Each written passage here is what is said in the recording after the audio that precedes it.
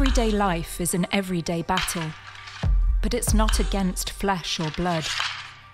It's the seen and unseen arrows sent to attack our souls, hidden within the common. What we watch, what we read, what we listen to, what we love. Do you see it? This is where the battle lies. The darkness is pressing and will put up a fight, but we have access to the weapons that render the enemy powerless prayer, truth, peace, righteousness, salvation, the Spirit. This is our armor. These are our weapons of warfare. So stand firm in faith and be battle ready. Good morning.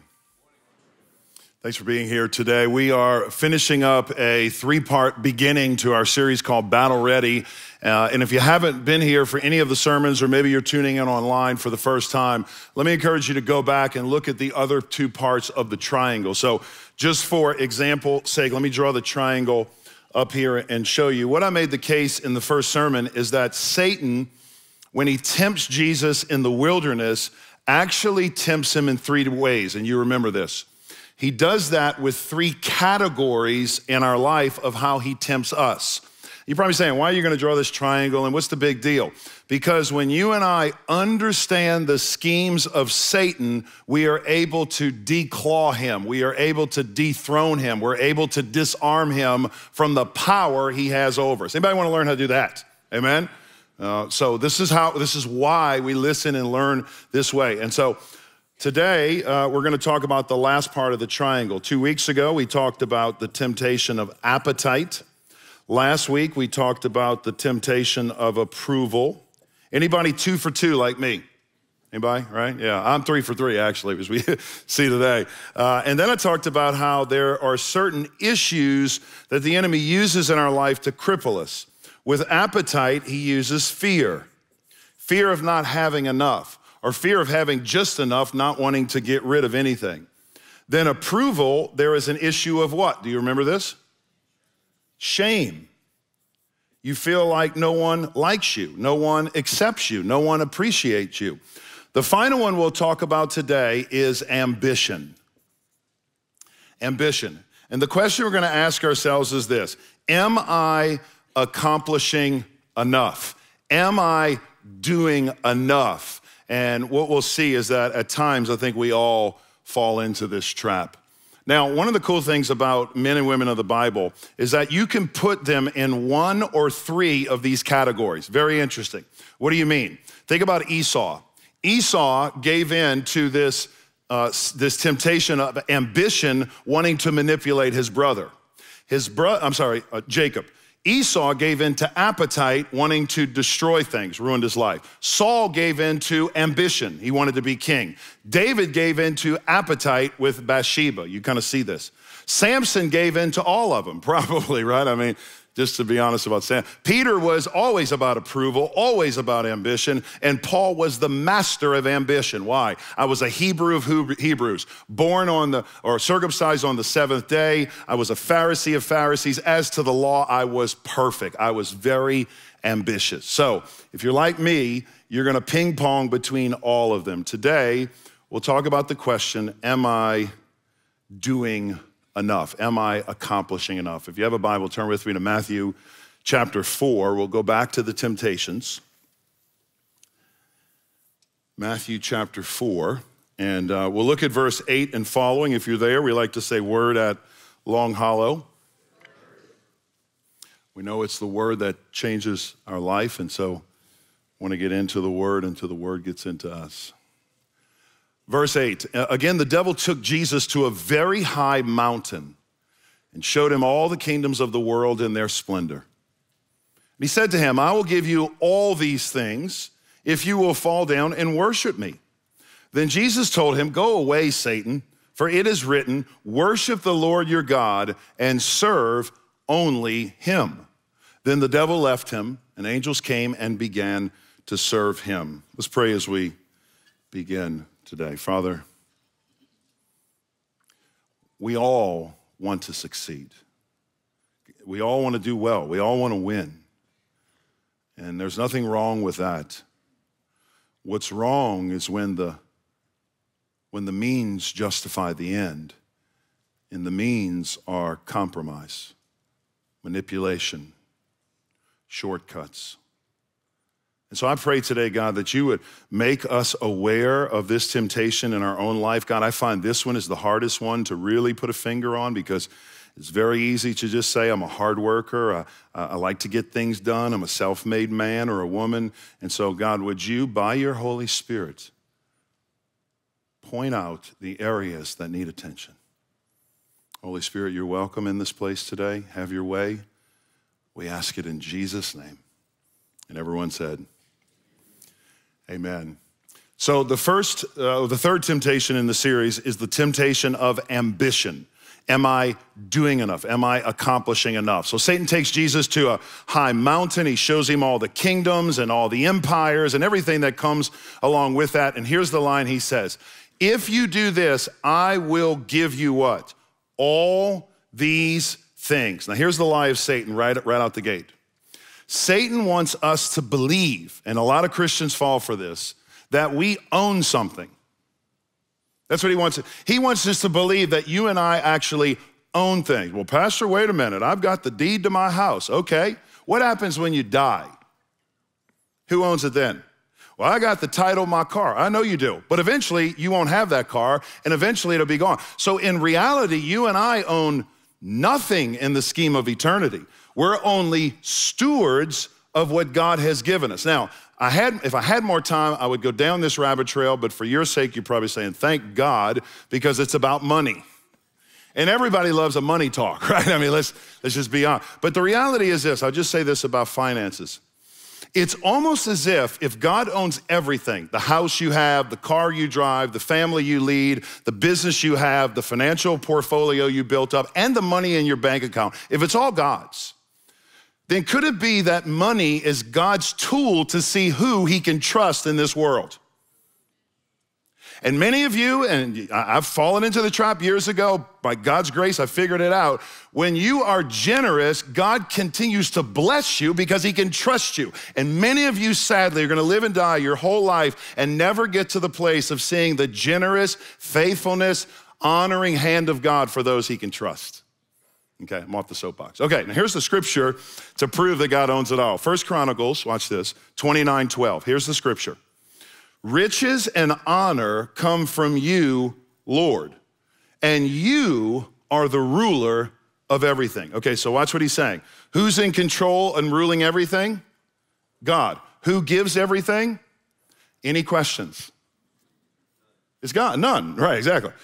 Power and might are in your hand, and it is in your hand to make great and to give strength to all. Here's what Satan's doing. He's saying, Jesus, come here, man, listen.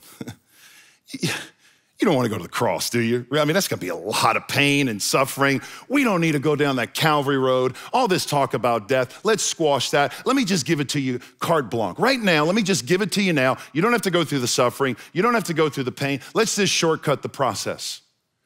And what happens is he wants Jesus to compromise the plan of God. Let me just remind you there are no shortcuts to success in life, period. There are no, there are no shortcuts to effectiveness.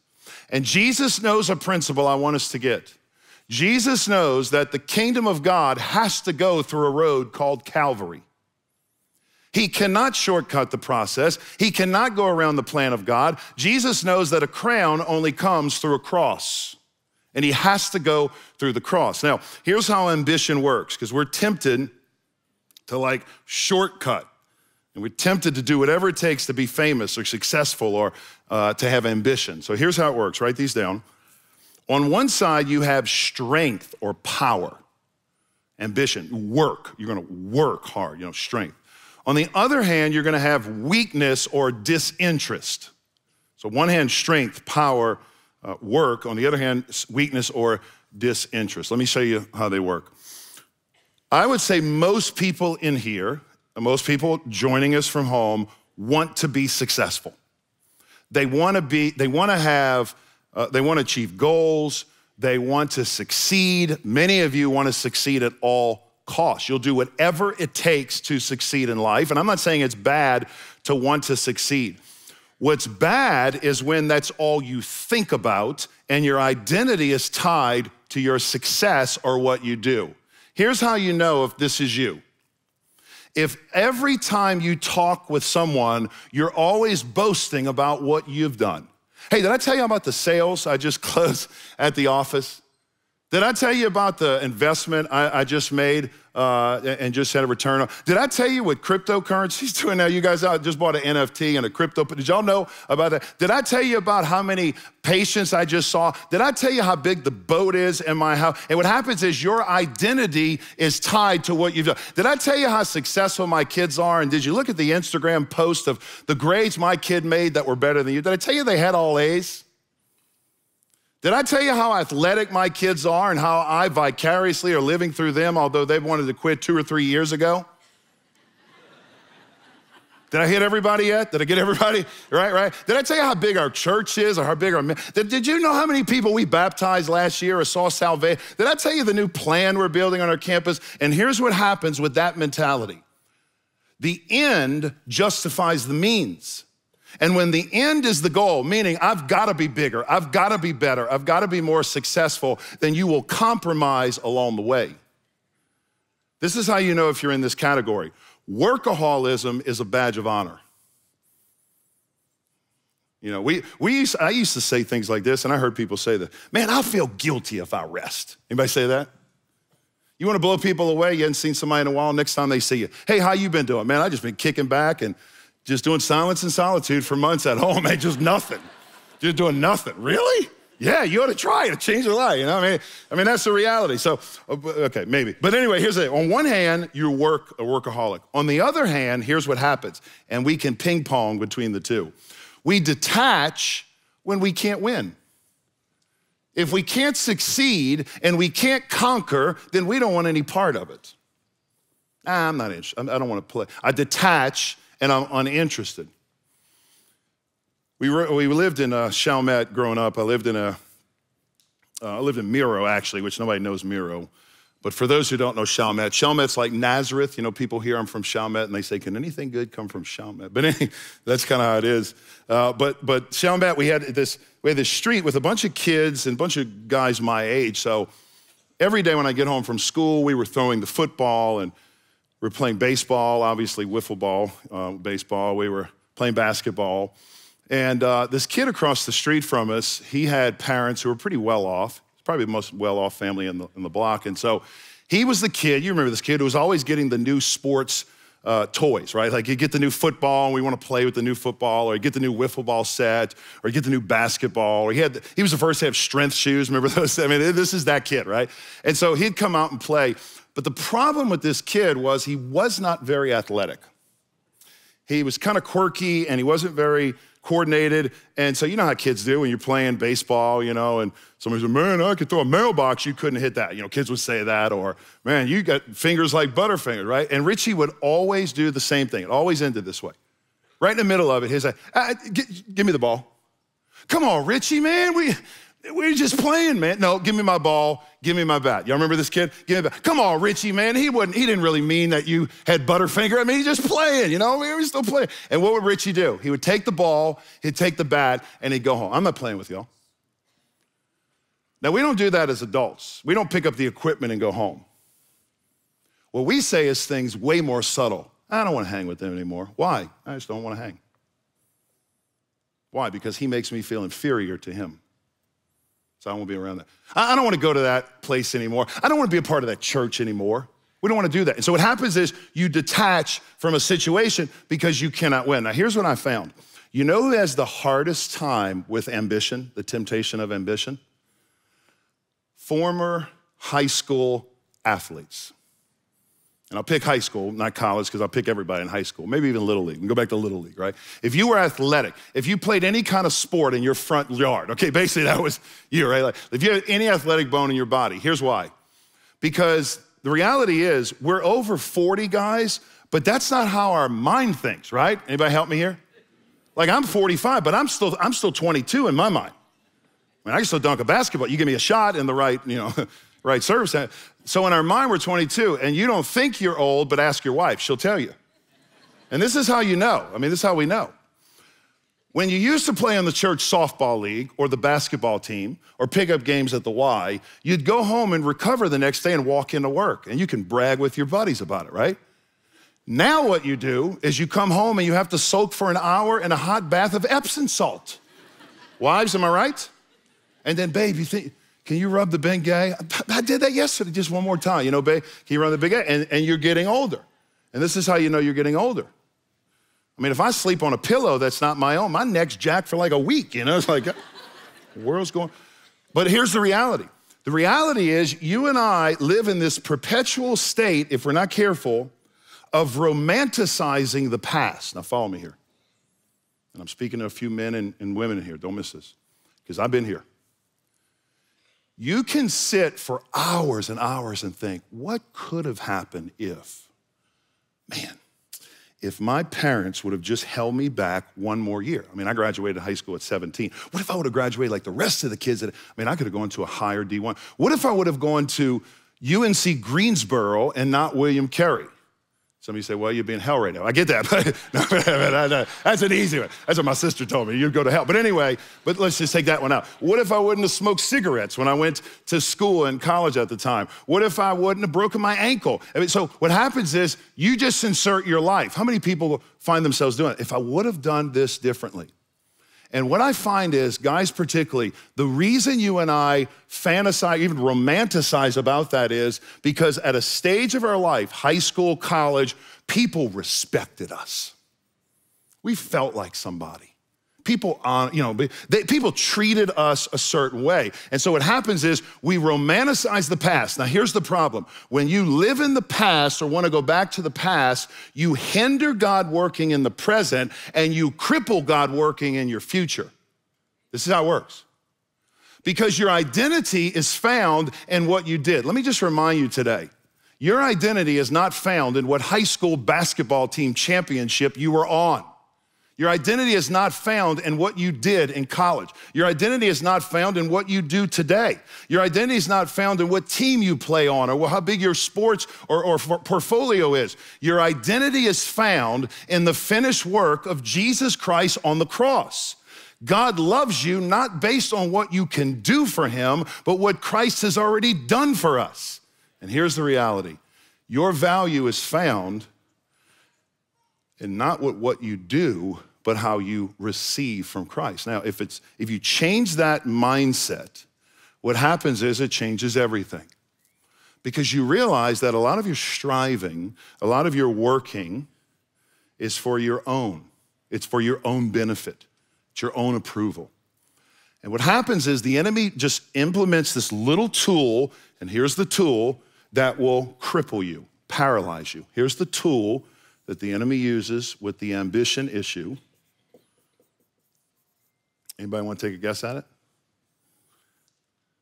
Guilt. Guilt. Satan is a master of a guilt trip, right? If anybody ever felt guilty before? I mean, that's what he does to Jesus. He says, Listen, if you just bow down to me, I will give you all the kingdoms of the world. Now, I find fascinating, I don't want to dwell here, but I find it fascinating that Jesus doesn't even correct him. You don't even own the, what are you talking? It's all mine anyway. He doesn't even correct him. But, but in a sense, Satan is kind of right because God said he would be the prince of the power of the air, the earth. So God has abdicated authority to Satan that only he allows him to have, obviously. But he says, listen, if you bow down to me, I'll give you all these things. And what Satan wants Jesus to feel is the same thing he wants us to feel. I want you to get this. He wants us to feel that if we pass on the opportunity, we will feel guilty for not taking it later. That's the culture we live in today, especially our young people. We're raising a generation of young people, children and grandchildren, who live in a culture where they cannot miss out. Can't miss that. I got to go on the road trip. I never, I'll never go again you know? The McRib's only here, you know, he's like, yeah, well, that was me. Okay, that was me. But anyway, anyway that's me. But I mean, that's what we live in. And, and the coach says, you gotta go on a road trip. You gotta, uh, you gotta stand in line for the iPhone, you know, 16 because if I don't get the first run of it, I'm not to get it. You know, I gotta go uh, call and repeatedly click on Best Buy to get the PS5, like many of you did last, you know. And, by, and what I realize now is by the time the PS6 comes out, nobody's gonna have the PS5. So, I mean, it's kind of how it works out. But that's it, we gotta get in line. I gotta buy this stock. I gotta get this crypto, I, I gotta get these things now. I gotta mint these NFT, I gotta get them now, because if I miss them, I miss out. That's a fear of missing out. They call it FOMO. You ever heard of that? FOMO? Young people call it fear of missing out. I got to have it now, and I feel it too. Recently, when I started to acknowledge this pressure in my life, I changed the acronym. Robert's my assistant. He can affirm this. My wife can affirm this. I've actually flipped it, going from one end of the scale, which is called fear of missing out. Young people, particularly, write this down. I call it now the fun of missing out. That's what I call it now. The fun of missing out. Because here's what I've learned, and I want you to understand this. Everything you and I say yes to, we say no to five or 10 things. Every yes carries with it five or 10 no's. What do you mean? If someone asked me to go speak at an event, which for years I think, man, I've been waiting to go speak here my whole, I gotta go. Wow, this is awesome. Been praying about it. Gotta go, babe. You know, gotta go. What happens is when I say yes to a speaking event, I say no to a few things, even if it's an off day. I say no to Kandi. I say no to Rig and Rider.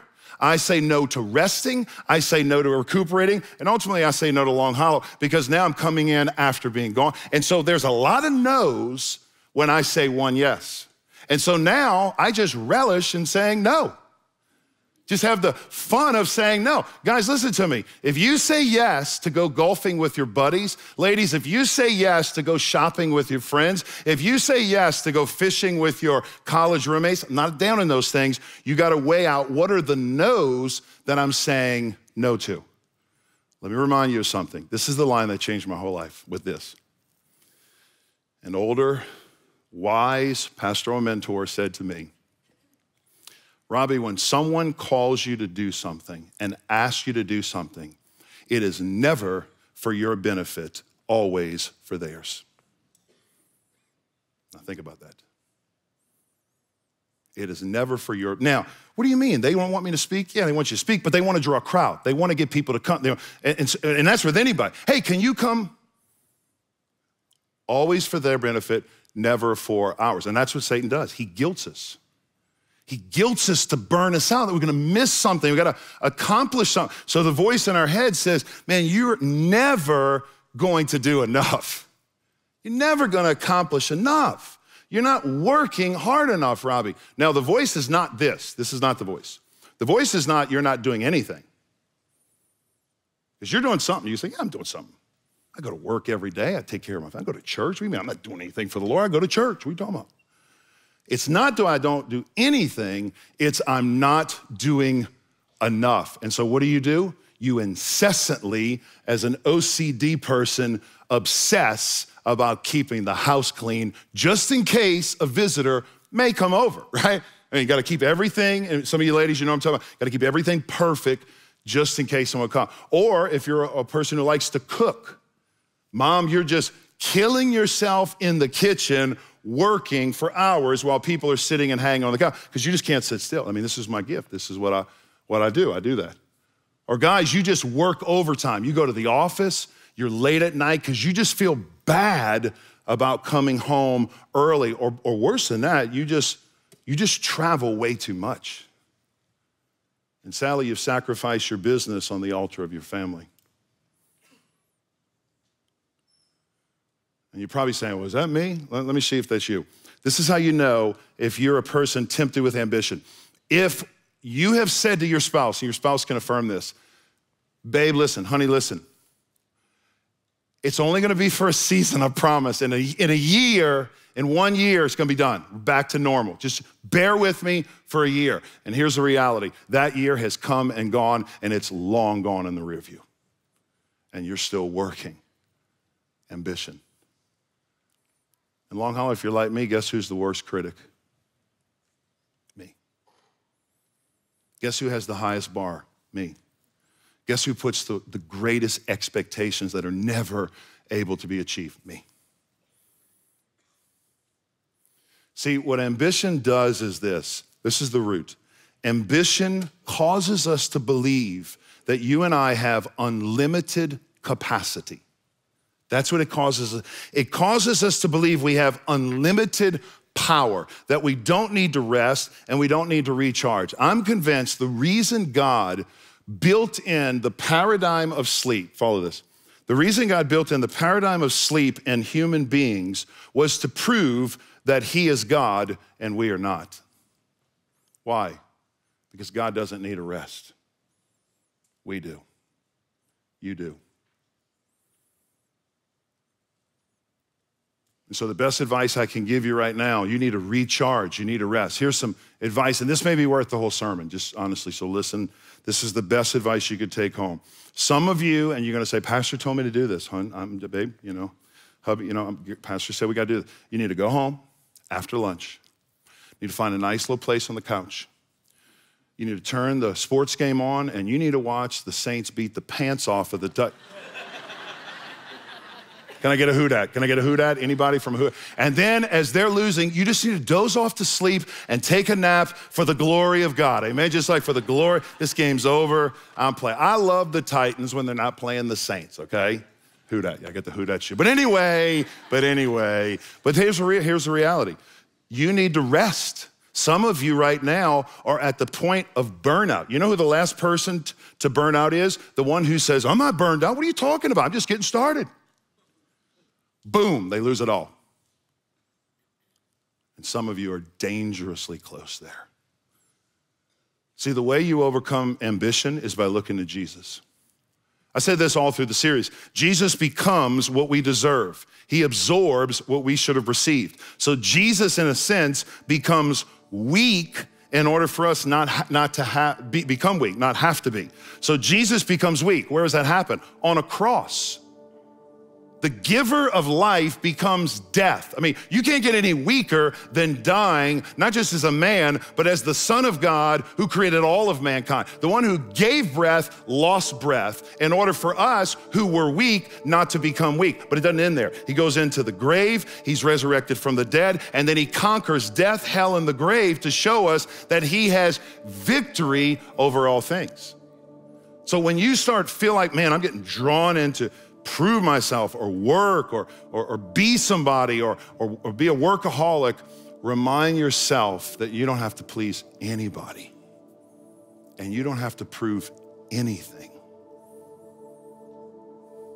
See, what I do is instead of resting in the in the grace of God, what I do is I'm gonna work hard. Know, I'm gonna prove myself and I'm gonna show people that, man, I'm I deserve to be here. And then when I don't win, here's what happens. I'm gonna find a place to win.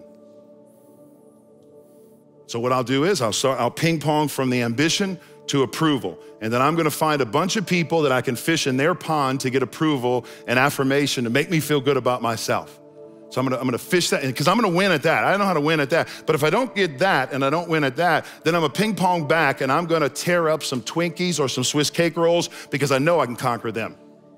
Appetite. You see how it works? I mean, this is how it works. If I can't win here, I'm gonna win here. I'm gonna win somewhere. And God reminds me, listen, Put down your striving, put down your approval seeking, and find it in me. See, when you start finding yourself pinging back and forth between those different parts of the triangle, ask yourself this question. This is worth the whole series right here. Write this down. Ask yourself this question What is the root cause? Why do I need people to approve me? Why do I buy Amazon packages at 11 p.m. every night incessantly? Why do I have to scroll endlessly through photo after photo after photo on Facebook and realize an hour later I did nothing? I mean, why am I doing? There's something going on here. Why do I work so hard? Why do I feel like I'm guilty when I know there's something here? So ask yourself, what is the root problem? And then ask three questions. What am I afraid of? Write this down. What am I afraid of? What do I feel shame over? What do I feel guilt about? And then when you start asking the Holy Spirit to do some deep spiritual work in your soul, then you get to the place where you say, God, I need to receive your grace, acknowledge my weakness, and rest in you. Everything I just explained to you was contrary to the rubric I had in my mind when I became a Christian. I mean, everything, the paradigm I had as in the world was contrary to everything I just told you. When I was 19 years old, I was a second year student in college and got invited by one of my friends to what was called a public business reception. I was in New Orleans. Brought my dad with me because I didn't have any money. I was a college student, so I didn't have any money.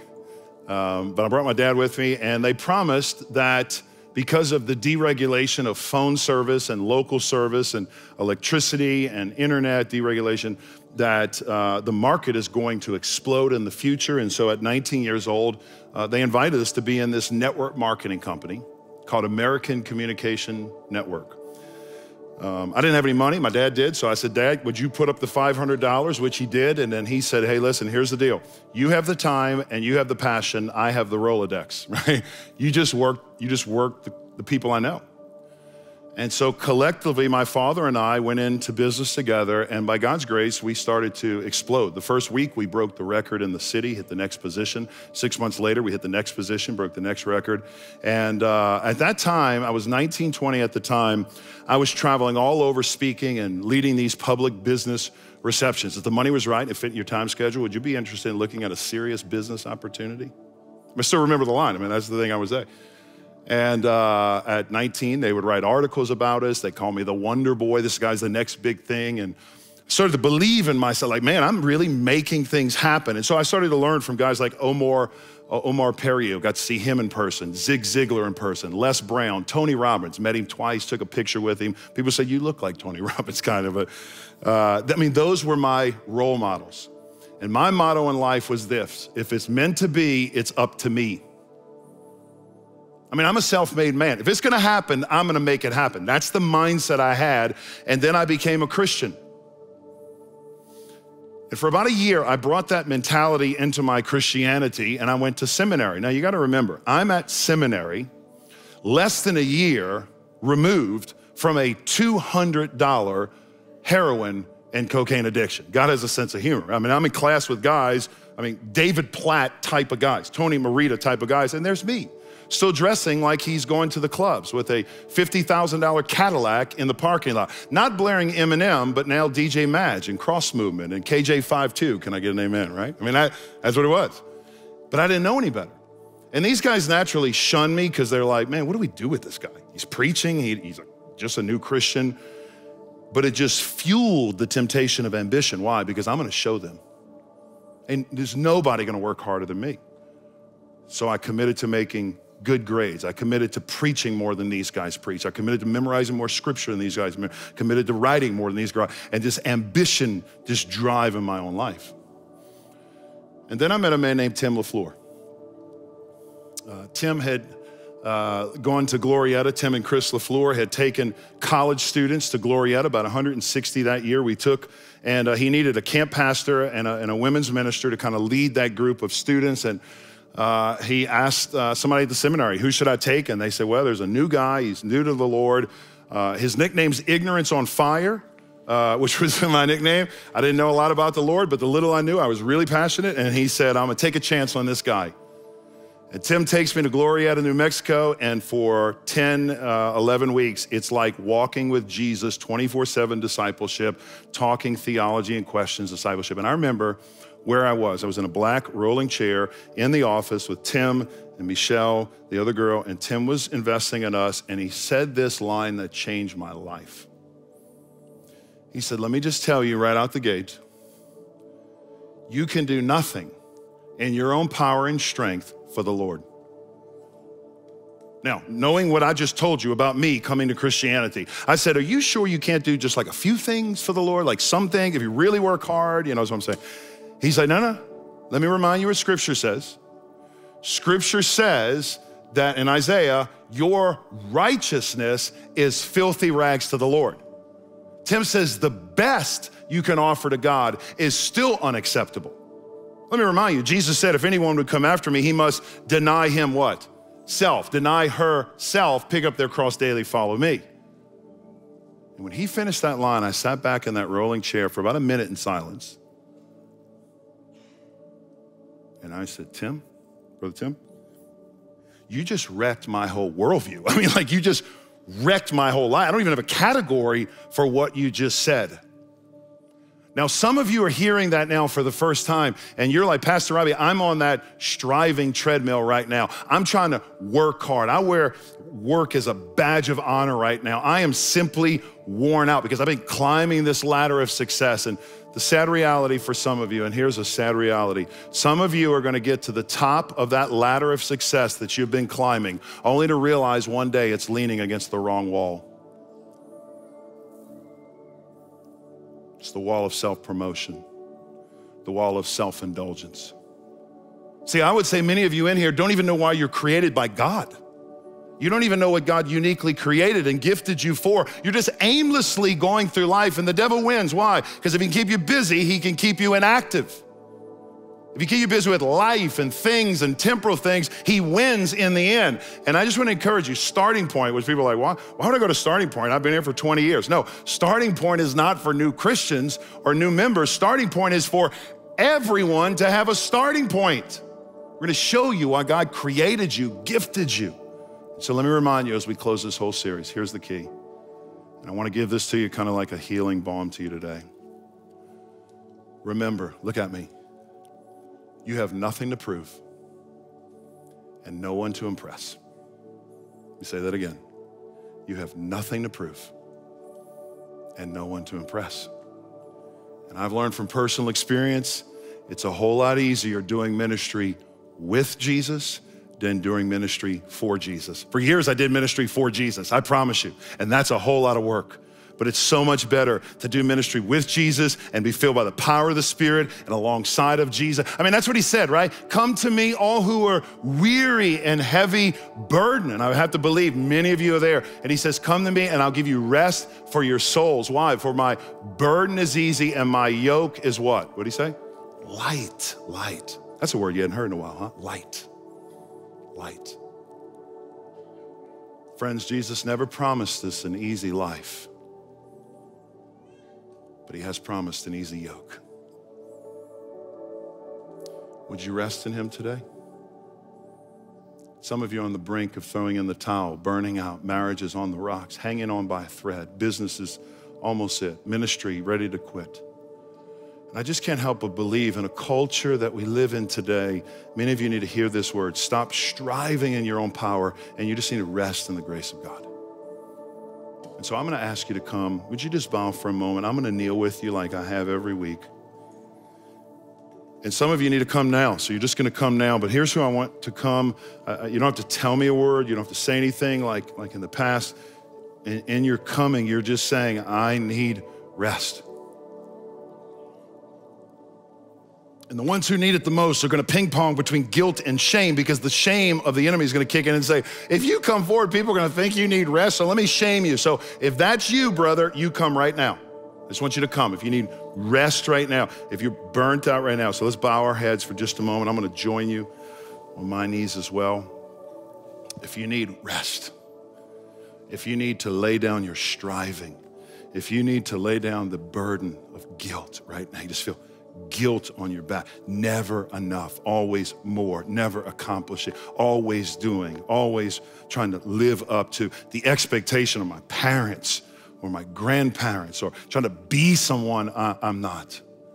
So I'm going to ask you, others are coming, you come right now. If you just need to come, just make your way out of your seat. You're just, Pastor, I'm tired. I'm tired. I need the grace of God. If you're in the balcony, we'll wait for you. Others are coming now. You come. Business owner, you're tired. Wife, single mom, you're exhausted. Keeping the marriage in check, you need to come. Tired. I need God's grace right now. If you're desperate enough, I promise you'll come. If you can do it on your own, stay in your seat. That's fine. God knows that. He knows that. But if you're desperate for the grace of God, He'll come. Jerry Bridges said this line, and it's been implanted upon my soul. And here's the line I want you to hear it. He says, On your worst day, you're never beyond the reach of the grace of God. Such a great promise. Because there are days when you feel like, Where is God? Where is the power of God? On your worst day, you're never beyond the reach of the grace of God. But on your best day, you are still desperately in need of the grace of God.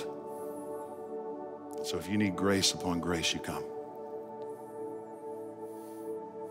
And as you're bowing down, I just want you to get alone with the Lord for a moment and just tell God, you're tired.